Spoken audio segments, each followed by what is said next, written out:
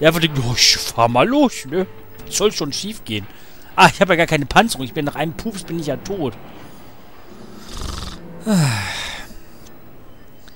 Jetzt nur darum ging irgendwie Zeitdruck, ne? Weil der jetzt irgendwie von hinten irgendeine Scheiße kommt. Eine Laserbarriere oder so. Wäre okay. Aber ihr habt ja beim ersten Versuch gesehen. Ich habe einfach nur eine... Ich muss, muss den anderen Roboter irgendwie loswerden. Und dann kommt natürlich eine Laserbarriere von vorne auf ihn zu. Und der fährt dann ja auch nicht weg oder so. Da denke ich einfach, ach nö, das ist bestimmt nur irgendwie, keine Ahnung, ne? Für die Ausleuchtung, ist gut für die Augen. Ah, es dauert, dauert pro Versuch jetzt ja immer nur, keine Ahnung, zwei Minuten, zweieinhalb Minuten, aber trotzdem nervt das, echt. Und da verstehe ich nicht, wie, also, das ist halt wieder so eine Sache. Ich glaube, vielleicht, vielleicht bin ich auch alleine mit dieser Meinung, ne? Aber ey, wir haben wie viele Level jetzt gespielt? 8, 9 Level, ne? Die alle so zwischen 10 und 15 Minuten vielleicht, oder zwischen 5 und 15 Minuten gingen. Und das, das Level hier, das kommt mir schon echt extrem lang vor. Also wenn, es überhaupt 15 Minuten waren, ne? Ich glaube, die waren noch nicht mal so lang. Ich nehme jetzt seit, ja, ungefähr zwei Stunden auf in Summe. Zwei, ein Viertelstunden. Und bin jetzt in Level, keine Ahnung, 10. So. Plus Anfangsblabla und so ein Gelöt, ne, natürlich. Was hast du jetzt da gerade einfrieren wollen?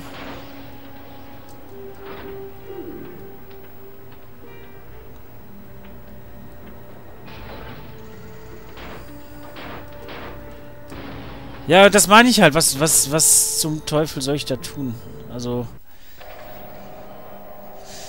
Ja, gut. Ist ein bisschen teuer in der Uhr jetzt. Ich verstehe es trotzdem nicht. Also ich habe ich hab da jetzt so eine, so eine kleine Idee. Ähm, dass man den einfach auslässt zum Beispiel. Ne? Ist ja auch vielleicht eine Möglichkeit. Weil ich kann nicht zuerst nach hinten gehen und dann wieder nach vorne, weil das dauert einfach zu lang. Damit komme ich zeitlich leider nicht hin. Ach komm, verpiss dich, Frozone. Ich glaube, du auch einfach nur im Gesicht stehst quasi, ne?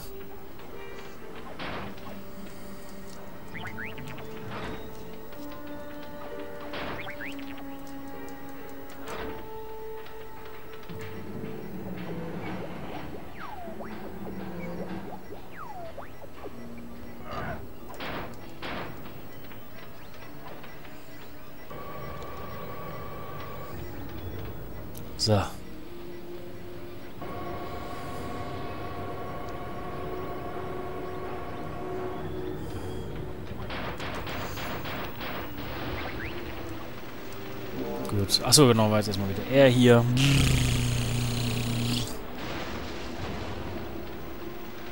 Dann haben wir die zweite. Das ist, warum muss man das denn immer wieder neu machen? Warum fange ich nicht einfach bei, bei der dritten Stufe schon wieder an? Echt? Wofür, wofür zeigen die mir das jetzt hier? Dass ich weiß, wie ich weiterkomme? Oder was wollen die mir damit sagen? Ich habe gedacht, vielleicht könnte ich diese eine Wand, die ich ja eigentlich sonst immer zerstöre, auch irgendwie wieder fallen lassen oder so, damit die, Laserbarriere dort äh, zu Ende ist. Aber ist ja auch nicht der Fall.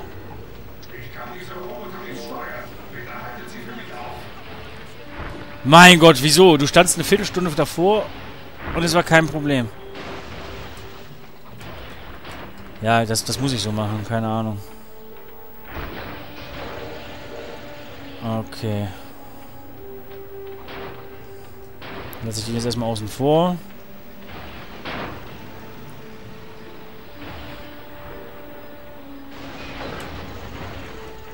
Okay, ja, dann ich, ich weiß nicht, was ich tun soll. Weil das, äh... Kann ich das nochmal aktivieren vielleicht?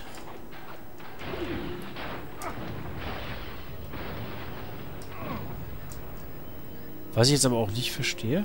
Hä? ich verstehe es wirklich nicht. Ich komme hier nicht weiter. Ich komme wirklich nicht weiter. Warum lässt du mich denn alles nochmal machen, ey? Mann! Ey, das ist doch richtig das Problem, dass ich nicht weiß, was, was man hier machen kann. Und einfach nur, weil ich nicht weiß, was ich da machen muss. Weil ich einen Vollspacken da unten mit rumrennen habe. Wenn der wenigstens süß wäre, der Roboter, ne? Ah nein, der ist einfach nur scheiße. Und der, der hat auch eine Synchronstimme, die ist nicht nett.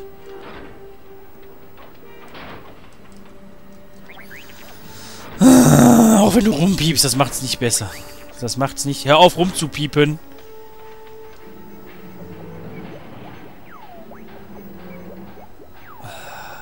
Mach. Und das dauert auch immer so lange, bis der diese scheiß Wand hochhebt. Warum?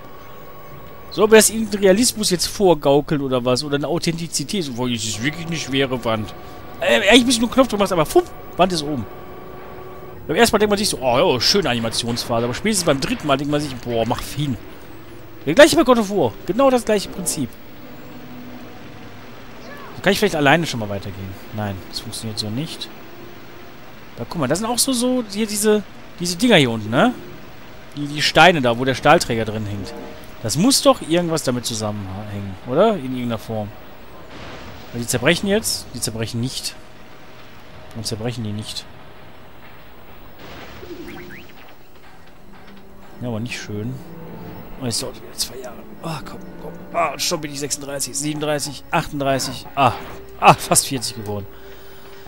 Boah, das nervt so, das nervt so, das nervt so, das nervt so. Ich, oh Gott, ich weiß nicht, was ich tun soll.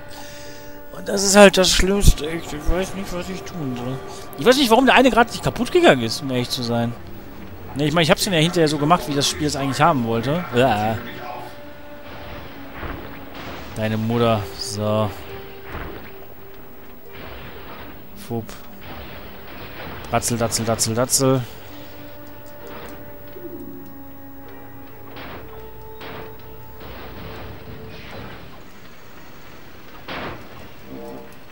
Aha! Das, das, okay, okay, okay, okay. Wie geil ist das denn? Äh, habt ihr gesehen, was da gerade passiert ist? Die Laserbarriere hat einfach aufgehört, sich zu bewegen. Das war, glaube ich, ein Fehler vom Spiel. Die sollte gar nicht so weit gehen. Bei meinem ersten Versuch. Alter, wie dumm ist das denn? okay. Weißt du was, Spiel fick dich. Ohne Witz. Du kannst mich doch am Arsch lecken. Deswegen hänge ich jetzt hier seit zwölf Minuten und mache die ganze Zeit die gleiche Scheiße. Um festzustellen, dass es gar nicht mein Fehler war. Äh... Ah, sind wir jetzt zusammen? Ich möchte dich nicht im Kampf beschützen müssen. Das kannst du mir bitte wirklich ersparen, okay? Ah nein, ja, hau ab. Ja, geh, komm, pst, weg, weg. Die wollen dich nicht mehr. Wir haben dich sicher und funktionsbereit durchgebracht. Dafür, dafür, ernsthaft. Ich möchte einfach allein hier bleiben. Du wolltest uns erzählen, wie man den Korrumpierer aufhält. Befreien nur die Wissenschaftler und Installateure, die ihr dort oben gefangen hält. Ohne ihre Wartungsarbeiten und den Druck wird der Korrumpierer... Wird er was? Explodieren? Er befindet sich direkt unter der Stadt. Er wird nicht explodieren. Er wird einfach den Betrieb einstellen. Vielleicht werden ein paar Rohre bersten. Ich schätze, es gibt wenigstens neun kleinere Explosionen. Aber der Tunnelgräber wird dann nicht mehr weiter wissen. Befreit die Gefangenen und eure Welt ist sicher. Zumindest bis zum nächsten Schlag des Tunnelgräbers. Klar? Klar. Okay, wenn das jetzt natürlich jetzt in Anführungsstrichen nur noch zwei Bosse sind, dann überlege ich mir vielleicht doch noch, ob ich nicht noch weiterspielen soll. Alles das war jetzt wirklich erbärmlich, oder? Also was wir da jetzt am Ende, am Ende gemacht haben, ne? Und ich Schaden durch Ausweichen. Wie, wie, wie mache ich Schaden durch Ausweichen? Kann man das jemand erklären? Habe ich nicht so ganz verstanden. Vom, vom, vom Gegner besiegt? Vier? Bin noch nicht gestorben, oder? Doch, ja, okay. Unvollständig? Alter, ich habe die ganze Zeit mit Mr. Incredible nichts anderes gemacht, als das Level zu spielen. Das ist echt hart. Das ist echt hart. Ich habe doch kein einziges Mal gewechselt, oder? Ja, ich habe es halt so oft, äh, ja, umgehauen. Ja, und der unten, klar, das Unbesiegt ist halt nur wegen dem Ende gewesen. Das ist so, das ist so erbärmlich, wirklich. Oh, das Level dann immer wieder machen. Der Korrumpierer. So, weil wenn das jetzt wirklich ein Boss ist, und das nächste Level ist ja eigentlich dann so gesehen, dann ja auch nochmal ein Boss. Na, komm, wir gucken zumindest nochmal rein, würde ich vorschlagen, oder? Wenn, wir haben jetzt auch gerade mal halb zehn, man hört die Kirchenglocken vielleicht draußen. Auch wenn die Oberwelt noch nicht dunkel ist und die Ankunft der Roboter sich verzögert, könnten einige Oberweltler das als ein Zeichen werten und versuchen sich zu wehren. Aber wenn die Messgeräte maximalen Druck Korrumpierer die Sonne verdunkeln. Der Tunnelgräber wird sich erheben und sie alle unterdrücken. Eliminiert Wissenschaftler, sobald der Schlag Holy shit! So. ich konnte nicht anders, tut mir leid. Das musste jetzt sein. Aufs Maul, Fratzengeballer! Zumindest mal kurz reinschauen, ne? Das darf man ja mal. Also sieht es auf jeden Fall am Anfang erstmal nicht wie ein, wie ein, äh, äh, Boss-Level aus. Kann man sich ja hier irgendwie mal die Ziele schon mal anzeigen lassen? Äh, Menü.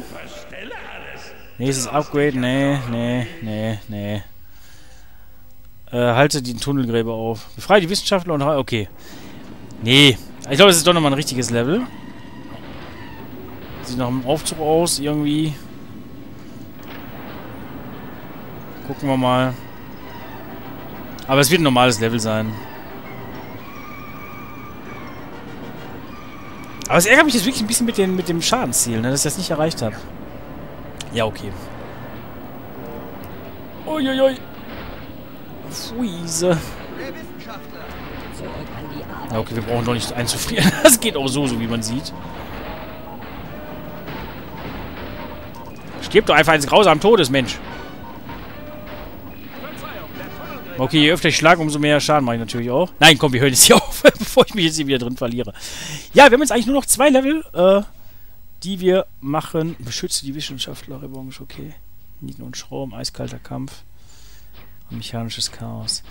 Ja, eigentlich nur noch zwei Level, die wir machen müssen. Einmal, äh, der Korrumpierer natürlich befreie die Wissenschaft und halte den Tunnelgräber auf. Und dann kommt schon der letzte Endgegner, nämlich besiege den Tunnelgräber. Ähm, deswegen, ich habe eigentlich gedacht, wir schaffen das heute vielleicht noch, aber es ist trotzdem echt ein mega kurzes Spiel vom reinen äh, Durchspielen her.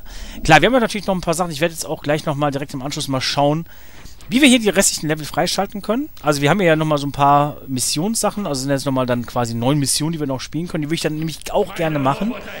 Ähm, ob es da irgendwas mit den sekundären Zielen zu tun hat oder ob es was damit zu tun hat, äh, wie viele von den geheimen Sachen wir gefunden haben, von diesen Bonusgegenständen, kann ich jetzt nicht sagen. Ich kann mir vorstellen, das eine hat vielleicht was mit den Geheimnissen bzw. mit der Galerie zu tun. Das andere mit den Missionen, nur was jetzt was macht, weiß ich nicht. Unabhängig davon, ähm, wenn es irgendwas bringen soll, dass ich hier die sekundären Ziele alle schaffe, äh, würde ich das auch schon mal offscreen so weit machen wollen, zumindest jetzt schon mal bis hier. Äh, so dass wir beim nächsten Mal dann die beiden Missionen noch machen können. Vielleicht dann hier auch schon mal die ersten Bonusmissionen machen können. Und dann bei der übernächsten Aufnahme, dass ich mich um die letzten beiden Level kümmere mit den Sekundärzielen und dann auch die letzten Missionen machen kann. Gut, ja, auf jeden Fall macht trotzdem noch Bock, auch wenn jetzt die letzte Mission ein bisschen blöd war. Ähm, weil irgendwie offensichtlich das Spiel nicht wollte, dass ich da weiterkomme, obwohl das Spiel das eigentlich hätte wollen müssen oder hätte machen müssen. Aber ist egal, wir haben das Level jetzt im Endeffekt doch geschafft. Und ja, es macht, immer, es macht auf jeden Fall immer noch Spaß, klar. Ne? Also ein paar Gegner sind halt nervig. Gut, da kann man einfach die ganze Zeit draufkloppen. Es ist auch fair genug, das Spiel. Also auch von den Checkpoints, wenn man mal sterben sollte, ne? oder auch von dem, was die Gegner abziehen, äh, dass man jetzt nicht unbedingt direkt immer äh, ja komplett tot das ganze Level neu machen muss. Deswegen, das kann man verkraften, ne? dass da vielleicht so ein paar Designentscheidungen nicht so gelungen erscheinen zumindest. Aber äh, ja, im Großen und Ganzen, ey, es macht Bock. Cooler Koop-Titel bisher. Äh, kann ich mir wirklich halt auch richtig gut vorstellen, wenn ich das vor 10 Jahren, oder okay, vor 10 Jahren nicht, aber vor 15 Jahren, vor 20 Jahren gespielt. Gut, vor 20 Jahren warst du nicht draußen. Einigen wir uns auf 15 Jahre. Nee, hätte ich echt Bock drauf gehabt, wenn ich das mir aus der Videothek ausgeliehen hätte. Ich habe damals echt immer viele Koop-Spiele gesucht, äh, um die mit meinen Kollegen zu zocken. Und äh, also ich hatte vor allem einen Kollegen, mit dem ich sehr viel Koop-Spiele gezockt habe. Aber auch immer Coach, äh, also Coach-Koop, ne? Das heißt, ich saß neben mir und wir haben die Scheiße durchgedaddelt. Und äh, ja, das, das wäre eigentlich auch voll geil gewesen. Also da, da hätten wir uns damals richtig, da hätten richtig Spaß damals mit gehabt, glaube ich. Oh, und jetzt hängt sich die PS2 eh auf, wie schön. okay. Gut, aber endlich jetzt die Aufnahme. Ja, sehen wir uns beim nächsten Mal dann hier wieder, äh, wenn wir uns dann den nächsten oder den letzten beiden Leveln widmen werden. Und ja, mal gucken, wie wir durchkommen werden. Mal gucken, wie lange wir noch brauchen. Und mal gucken, wie ich was freischalte. Gut, also, ne, dann, ja, bis zum nächsten Mal. Tschüss. tschüss.